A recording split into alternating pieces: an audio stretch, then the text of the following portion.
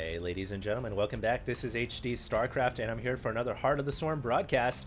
And today we're going to be looking at the red Zerg player in the bottom left-hand corner, another comeback here of Idri... E Idris, EG's Idra, and uh, after he completely smoked TLO, I'm very interested to see how he's going to be playing against the Protoss player in the top right-hand corner who is Happy Kitty. And Happy Kitty was the one who actually mounted an amazing, an amazing comeback against Terror Prime.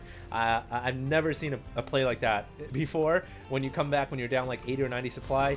And if you guys haven't seen that game yet, I guess I just spoiled it for you, but you guys probably should check it out anyways because it was just so, so amazing. I've never seen a game that you know, when you come back down 60 or 70 supply, um, in a situation like that, even Terror said, all right, get out, you know, time to get out, GTFO. And uh, Happy Kitty said, hell no, I'm still in this game. I'm never going to give up, never going to surrender, and valiantly fought his way back. A couple of mistakes, I think, by Terror getting a little ahead of himself. But now it is going to be a whole new ball game. We've got Idra versus Happy Kitty.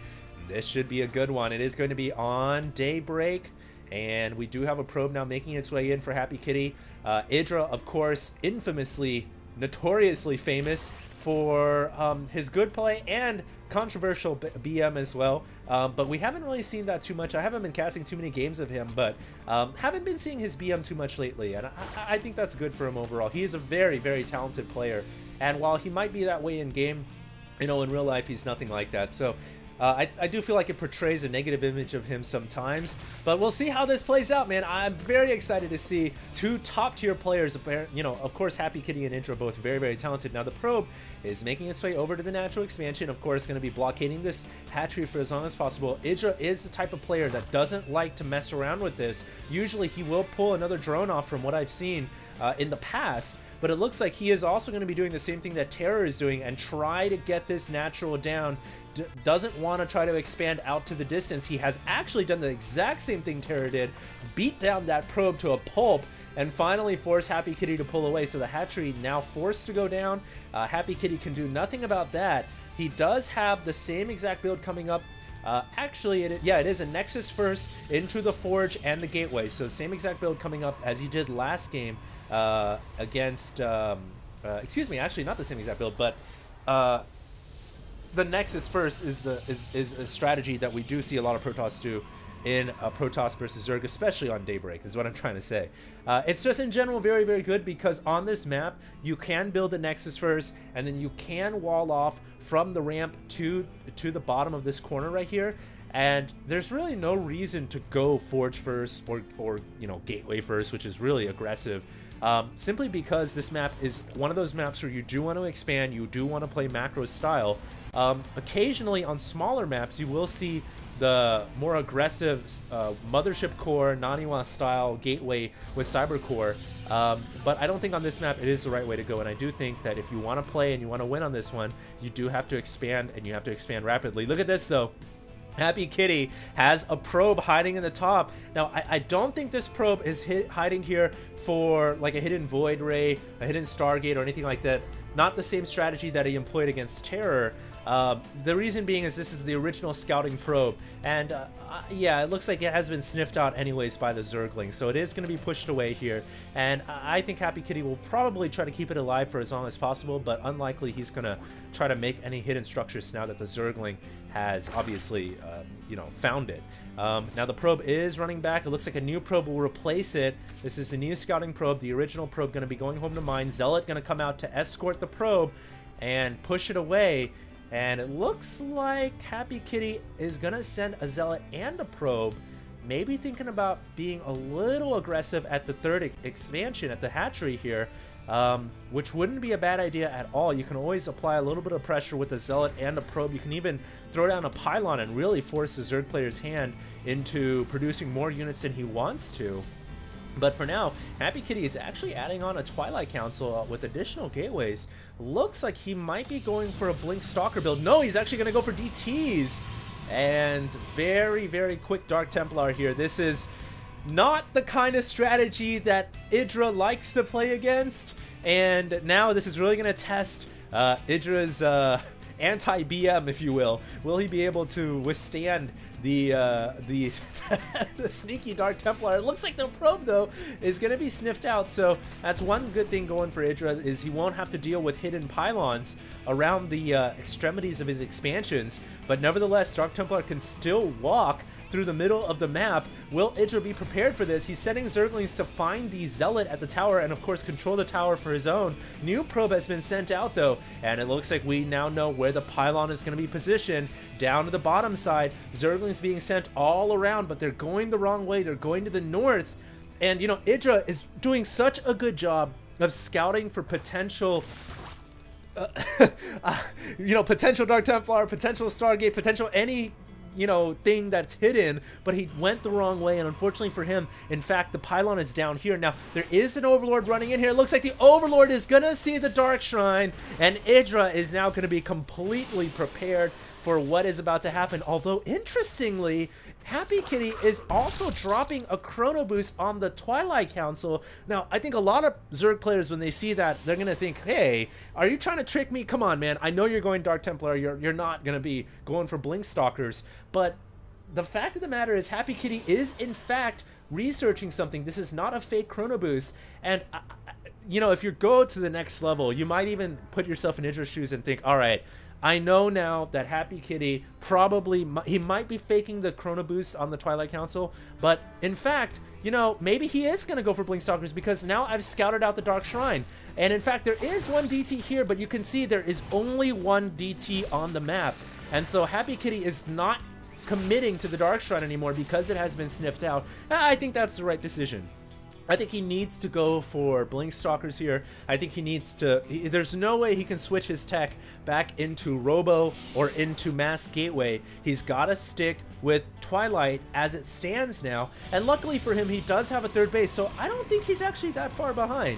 It, it does hurt that he made a Dark Shrine, which does cost quite a bit, but he really only made one DT, so it's not a terrible loss for him, and he's going to make the best with what he's got. Um, and you know what? The best with what he's got right now is Twilight Tech, and he's going to go for Blink Stalkers, and I definitely feel like this could end up working to his favor. Um, of course, Idra uh, needs to make a lot of speedlings now. The best way to counter mass stalkers is speedlings. You can even add in hydras if you want as well. He is, uh, in fact, going for Spire, which uh, I don't. It's all right, I guess, against mutas. It's uh, mutas against stalkers. It's not. It's not. It's not amazing. It's not terrible either. It really depends if you have enough mutalisks or not. Uh, but here we go. Happy Kitty is pushing out. And uh, he does have Blink Research, and Blink, of course, does nullify some of the advantages that Mutalisks have. Uh, which is of course mobility in the skies because stalkers can now blink underneath them. Uh, Happy Kitty does have a proxy pylon set up, a couple of proxy pylons. In fact, he has gone for a very big timing attack here. Stalkers with sentries. I don't know if Idra's prepared for this. He does have another hatchery coming up. He's anticipating the attack to occur at the top left-hand side. Little does he know it's actually going to be coming right through his front door. And the Stalkers and Sentries have made their way through. Another pylon is coming up. This is going to be it. Happy Kitty is investing everything here. Will a couple of force fields get dropped at the ramp? Most of the forces being used at the front door. They have shut down a lot of the Zerglings and the Roaches. And I don't know if Idra's got enough here. Reinforcements are arriving. Happy Kitty needs to blink back to the corner here where he's got additional Stalkers to assist. But there's so many Roaches and Zerglings here. Will Idra be able to break through? He's got 12 more Roaches and 12 more Speedlings coming out. It's down to these Stalkers. Will they be able to hold? I don't think so. More Stalkers warping in on the high ground, but Idra just has far too much and Idra should be able to win this fight. There is a Dark Templar in the mix, so Dark Templar coming in after Happy Kitty sniped the Overseer. Now I see why he was shooting down that Overseer because he wanted to get a DT, and the DT changes everything, but a new Overseer has come in here. Now, of course, the Stalkers can blink underneath the Overseer and take it out, but the Pylon has gone down now, so uh, Happy Kitty has to pull back, and I think Idra coming out huge in that engagement because uh, he is so far ahead in supply right now. It looks like one DT will sneak on by, but there's a Spore Crawler there. And Happy Kitty now in desperation mode. He's 97 supply to 146. Um, can he pull another miraculous comeback? It would require Idra, I think, to make a couple of mistakes, uh, similar to what Terror did. I, I, just don't think he will, though. Uh, Idra now on the move out, he is going to take out those proxy pylons, and the Stalkers are now in full retreat. Um, I definitely feel like Happy Kitty needs to think about going up for Robotech and getting a couple of Immortals out because I'm not sure if you can win the game now with just purely Stalkers. Um, you know, maybe if you get a lot of Blink Stalkers on the field, but a couple of Immortals and Colossus here would really help him out. The problem is he's pigeonholed himself by going for the early Twilight. It's very hard to make a tech switch as Protoss. Overseer coming in to, to confirm that Happy Kitty, in fact, is still on Twilight Council, and he is. Looks like that Overseer ends up costing Idra some supply, but that'll be cleared up pretty quickly with five Overlords now on the way. Looking at some of these tabs here, pretty close units loss-wise. Workers killed. Protoss has lost a little bit more. I'm not too sure where those 12 workers... Actually, no, excuse me. Happy Kitty killing off 12 drones, so that's good for him. Here comes the Blinkstalker army. That is a lot of Blinkstalkers. Upgrades currently at 002. The Roach army doesn't have enough upgrades, and that could be a defining factor, but here comes the Mutalisk flying in. Happy Kitty completely out of position. He might be forced to go into a base race situation here because he doesn't have the time to pull back. He'll have to rely on his reinforcing stalkers to shut down those Mutalisks. Meanwhile, the Mothership Core coming in. Will he drop a Time Warp field? I don't see a reason to yet. He might want to pull back behind the ramp and then drop the Time Warp but uh, he decides to stay and fight. Meanwhile, Stalkers, of course, uh, getting shut down as they try to warp in. There's a couple of photon cannons here, but there's so many Mutalisks. We are in a full-in base race situation. Will Happy Kitty be able to mount the comeback? He is going to go down for the Baneling Nest, the Evolution Chambers, and potentially the Roach Warren. That would be a huge blow here to Idra if the Roach Warren should go down, along with the Spire in the back. Mutalisk trying to take down the pylons that are powering all the warp gates. You can see how both players' strategies now are focused on taking down each other's tech facilities and their ability to produce reinforcements because they know what situation they're in right now.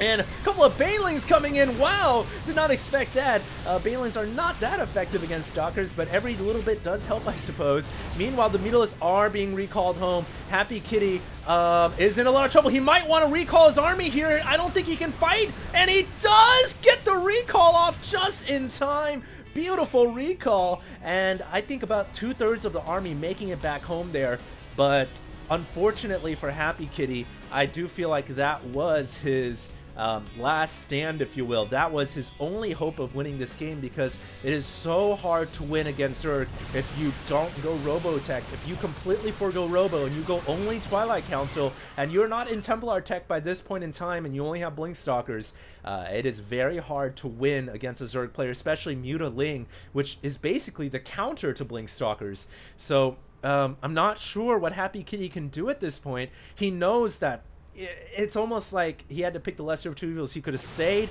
and tried to fight it out, but he was hopelessly outnumbered and outsurrounded, so he had to recall. But recall also puts him in a predicament because now he's conceding the fact that you know he's down and so far in supply and he doesn't have the tech he needs to win this game. Um, I really feel like he should forget Robo then. Just throw down maybe a Templar Archives and try to get some Archons out because Archons are the perfect unit. In fact, he's one step ahead of me. There's an Archon, and that's exactly what he needs to do. Uh, he needs to save up all of his gas now for Archons because Archons will shut down Mutalisks and Zerglings. Um, of course, Idra can then you know, Magic Box and Mutalisks to keep them spread out to prevent the Archon splash damage. That's where Storm would have come in, but Happy Kitty doesn't have enough gas to get Storm. Here we go, though. Time Warp, great Time Warp, shutting down the Baneling's ability to advance on the army, and that really negates their ability to strike home, although there are so many Banelings that they do get up in the mix. Now that Archon just got completely obliterated, and I think Happy Kitty will have to pull away here. That oh, All the Protoss forces just rolling down the ramp, courtesy of the new physics engine of Blizzard. And Idra here gotta be laughing as he knows that he's got this game in the bag. Uh, 199 supply to 101, and you know, despite Happy Kitty's um, uncanny ability to come back despite the odds, he almost actually pulled it off with that base trade scenario, but uh, unfortunately wasn't quite able to get there. This army is now really, really scary. Uh, and I, I, think probably now is dwindling down as there's not much the Protoss player can do in this kind of situation. But, you know what? Happy Kitty never gives up. He never surrenders. Maybe he can pull something out, but this is not looking good when all of his forces are stuck uh, in front of the gateways. He might want to consider breaking down one of the warp gates right here in order to facilitate easy movement between the third and the natural. Um, but what is going on here? Is there really a Dark Templar still flying, uh, running around inside the Zerg army. And the DT's got one kill, but I think once an Overseer comes in, or that fleet of Overseer comes in, that is going to be the end for the Dark Templar. And he's fleeing right now. He's running for it, but unfortunately gets surrounded against the hatchery. And that army, man, is so scary. The one thing I think is going for Happy Kitty right now is Idra hasn't attacked yet. He's allowing Happy Kitty to build up a larger army. And the other thing is, uh, Idra is not on tier 3. He's still on tier 2, which, you know, might bode, might bode all right for, for Happy Kitty if he can get more Archons out. But I don't know, man. This is going to be scary. And there we go. This is the big fight we've all been waiting for. One Archon is stuck in the back, unfortunately. And the Banelings are just rolling in. Some of the Stalkers able to blink behind the arm, behind the warp gates. Totally forgot that they could do that, of course. And uh, it looks like it looks like Happy Kitty actually makes a hold.